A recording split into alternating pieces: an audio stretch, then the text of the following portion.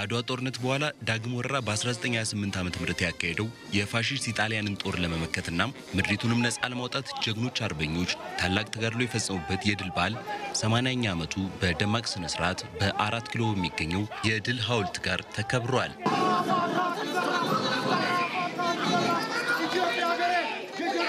በበዓሉ ላይ የአዲስ አበባ ከተማ አስተዳደር ምክትል ከንቲባ ለጀግኖች አባቶች የአበባ ጉንጉን ያኖሩ ሲሆን ጀግኖች አርበኞች፣ የፌዴራልና የመከላከያ ማርሽ ባንድ እንዲሁም ጥሪ የተደረገላቸው እንግዶች በበዓሉ ላይ ታድመዋል።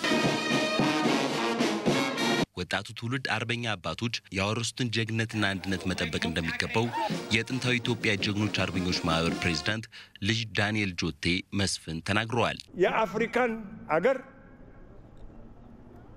ህዝቡን ከባርነት ከተገዥነት ቀንበር ያወጣው የእናንተ አባቶችና እናቶች ተጋድሎ ነው።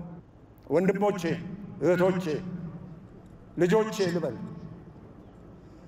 አለቆቼ፣ የመንግስት አካሎች አዳምጡን። አንድ እንሁንና እችን ኢትዮጵያችንን ወደ የተሻለ የበለጠ ኢትዮጵያ እናንሳት። ጣሊያን ኢትዮጵያን ለመከፋፈል ብትሞክርም እንዳልተሳካላት ሁሉም አሁንም ትውልዱ ፈታኝ ወቅት ላይ የምትገኘው ሀገሩን መጠበቅ እንደሚገባው የአዲስ አበባ ከተማ አስተዳደር ምክትል ከንቲባ አዳነች አቤቤ ጥሪ አቅርበዋል። የእኛም ትውልድ ጭምር አንገቱን ቀና አድርጎ ኮርቶ የሚኖርባት የሚኮራባት ሀገር እንድትኖረው ማድረግ ችለዋል። በዚህ ወቅት ኢትዮጵያውያን ከውስጥ ችግራችን በላይ እጅግ በጣም ሁላችንንም ሊጎዳ የሚችል ሊያዋርድ የሚችል አደጋ የተጋረጠብን ጊዜ ላይ ነው ያለ ነው። ከምን ጊዜውም በላይ በአንድነት መቆማችንን ይጠይቃል። ከምን ጊዜውም በላይ መተባበርና መከባበራችንን ይጠይቃል። ስለዚህ ዛሬም ዳግም የእኛ ትውልድ አርበኞች መሆን የምንችልበትን ታሪክ መጻፍ የምንችለው ይሄንን ስናደርግ ብቻ እንደሆነ በዚህ አጋጣሚ ልገልጽላችሁ ወዳለሁኝ። ለጀግኖች አርበኞች በአዲስ አበባ ከተማ አስተዳደር በሚገኙ ሆስፒታሎች እንዲታከሙ እንዲሁም መሬትን ለመስጠት የከተማ አስተዳደሩ መወሰኑን ምክትል ከንቲባዋ ገልጸዋል። የጀግኖች አርበኞቹ በበኩላቸው ትውልዱ በዘርና በሃይማኖት ሳይከፋፈል ሀገሩን መጠበቅ እንደሚገባው ተናግረዋል።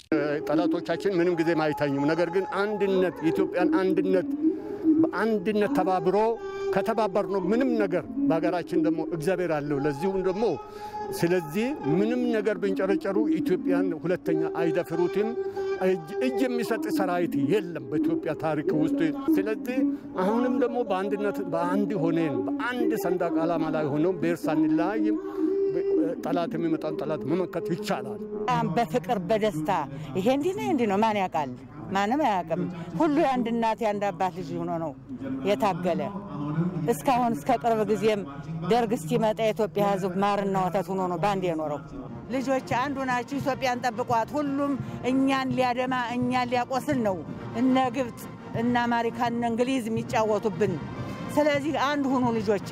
በዚያን ጊዜ ወጣቱ ሀገራችን ጀግናው የእግሩ ጫማ የለው የራሱ ባርኔጣ የለው ከዳር እስከ ዳር ጥላት ሲመጣ ከቦ መድረሻውን እያሳጣ እያርገበገበ በጦር በጎራዴ መከራ ሊያሳይ ሲመጣ መከራውን አይቶ የሞተው ሞተ፣ የቀረው ሄደ።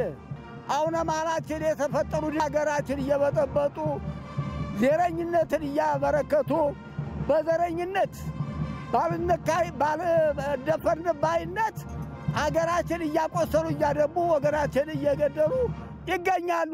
እንደነዚህ ያሉትን ደግሞ የኢትዮጵያ ጀግና ዝም ብሎ አያቸው። ክብረ በዓሉ የተለያዩ ኪነ ጥበባዊ ዝግጅቶች የቀረቡበትም ነበር።